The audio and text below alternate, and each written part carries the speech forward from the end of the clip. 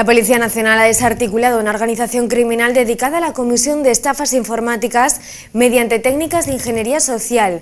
Los miembros de la red estafaron a 200 personas en dos meses y el valor de lo defraudado asciende a 350.000 euros. El entramado estaba liderado por un menor que además de crear sus propias herramientas informáticas para la realización de las estafas, las vendía a otras organizaciones criminales para que las explotasen. Suplantaron la imagen de 18 entidades bancarias diferentes, habiéndose intervenido listados con los datos privados de más de 100.000 clientes bancarios.